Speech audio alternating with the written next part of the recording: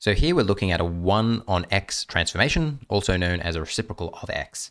So what does it do? It changes the x scale by making the larger values small and the small values large. And you can see that in action here. All of these small values here are being pushed out here. They're being stretched this way when all of my large values are becoming small. And by doing that, I'm making a straight line. It has more of effect than x squared.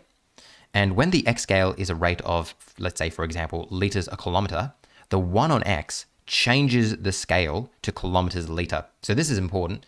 Uh, right here, as you can see, if I start with liters kilometers, by applying this uh, reciprocal, it's actually swapping them around, kilometers a liter. So and kilometers a litre is more meaningful than litres a kilometre because it makes more sense to say after you've driven this far, this is how many litres you're using, than vice versa.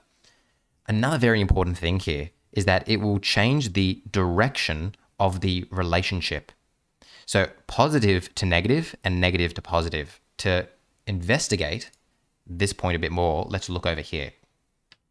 Do you see how my original points, so just look at all those dots here, they're not straight, but it clearly has a positive gradient going on there. It's going up and to the right.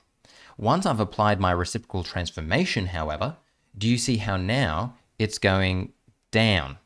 So I went from a positive gradient in the red, then after I, uh, after I applied my reciprocal transformation, I now get a negative gradient. That's important. All right, next one the x scale undergoes a reciprocal transformation and the y value remains the same. So some important points there. I think a very important point is the fact that our direction of the relationship is going to change when we apply a reciprocal transformation. And we're going to be seeing this in action as we go through some examples soon.